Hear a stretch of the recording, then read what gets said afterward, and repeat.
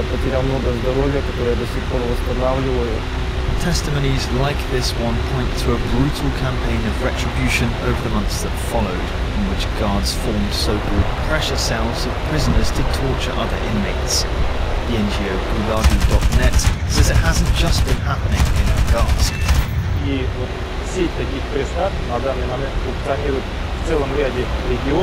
и оперативники считают, что это самый эффективный способ а, добиваться признательных показаний от заключенных и управлять спецконтингентом.